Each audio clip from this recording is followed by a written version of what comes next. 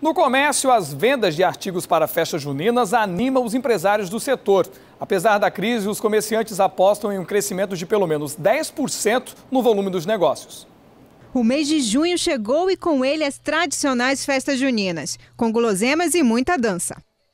Chapéu de palha, trajes caipiras, bandeirinhas e balões coloridos já enfeitam as vitrines. E a Beatriz não perdeu tempo. Logo cedo garantiu a decoração para as festas da família. A festa junina é um dia, um mês bom, né? Alegre, então eu gosto dessa época. A gente gosta de fazer festinha Sempre a gente faz todo ano. Os lojistas estão confiantes. Este gerente de loja de artigos decorativos diz que a expectativa é de um crescimento de 10% nas vendas em comparação com o ano passado. A festa junina é, um, é um, uma época muito abrangente, então a gente tem dois meses aí de trabalho pela frente, né? Junho e julho. Não são só os adultos que se divertem na tradicional festa junina. As crianças também têm ganhado cada vez mais espaço, com festas voltadas para elas. Com isso, o mercado tem investido cada vez mais em acessórios e roupas infantis. Tem essa procura infantil porque as escolas fazem muito isso. Geralmente é a festa, é a festa de recesso deles, né? Antes do recesso tem aquela festa junina escolar, que envolve pai, mãe, aí eles ficam motivados a, a comprar um vestido, comprar uma blusa, comprar um colete. É deixar o, o filho dentro da festa. E até mesmo as crianças que ainda nem nasceram ganham festas com o tema junino. É o charraiá. Aí eu achei interessante esse tema. Aí eu gostei e a gente ficou animado e veio atrás das coisas. Com tantas opções, agora é só entrar no clima e aproveitar essa, que é uma das melhores épocas do ano. Vamos embora. Você sabia que dançar com seu companheiro é uma atividade que pode trazer uma série de benefícios? E isso vai muito além do bem-estar físico. Ajuda também a aproximar o casal emocionalmente. Uma academia aqui de Manaus organizou uma programação especial de dança para casais em comemoração ao Dia dos Namorados. A dança é envolvente.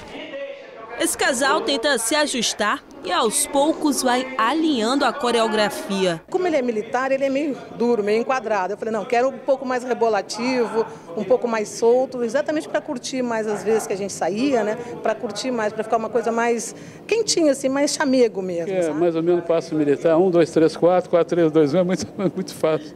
É só seguir o ritmo. É essa a ideia da programação dessa academia da zona centro-oeste de Manaus para a comemoração do Dia dos Namorados. Elevar a interação entre os casais, a autoestima e a promoção de saúde por meio da dança de salão. A dança de salão vem para somar, principalmente até no relacionamento, né, que você faz com que o seu companheiro, o seu parceiro é, fique mais com sintonia. Sandra e Renato mostram bem essa harmonia e interação do par.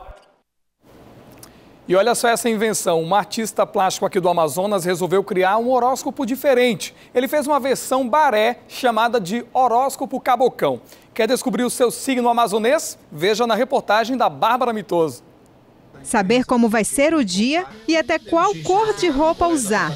Há quem acredite na famosa previsão dos signos e não sai de casa sem antes ler o horóscopo. É o caso da Yandra. Tem gente que acredita, tem gente que não acredita. Eu, no caso, eu acredito. Sempre vejo como vai ser meu dia, como vai ser o meu mês. É sempre bom.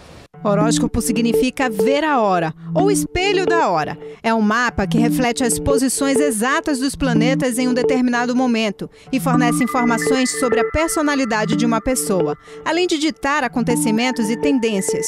Os primeiros registros apareceram a partir do século 7 a.C., quando várias civilizações antigas se dedicavam à observação do céu. Os 12 conjuntos de estrelas formam os signos do zodíaco. Todas as pessoas têm um signo determinado determinado a partir da data de nascimento. Mas se o horóscopo for personalizado para a cultura amazonense? É interessante, né? Um horóscopo amazonense a gente nunca viu, é algo interessante para gente. Um professor de teatro da Universidade Estadual do Amazonas resolveu desenvolver um horóscopo com animais amazônicos. A ideia surgiu há dois anos, nessa mesma época de mês de junho. Para fazer a festa junina da família, ele quis criar um personagem, só que aí precisava de um adereço. E foi aí que surgiu a ideia do horóscopo Cabocão.